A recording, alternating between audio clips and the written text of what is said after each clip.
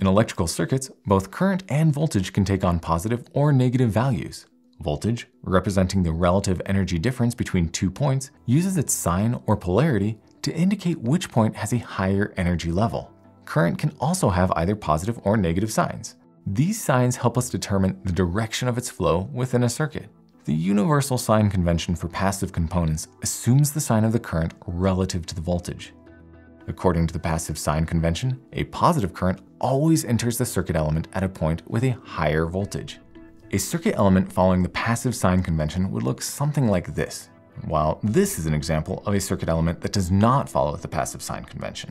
In circuit analysis, you can assume a reference direction for either voltage or current. If your assumption is correct, then you get a positive value. And if you get a negative value, it simply means that your assumption doesn't align with the actual direction, and you just need to flip the directions.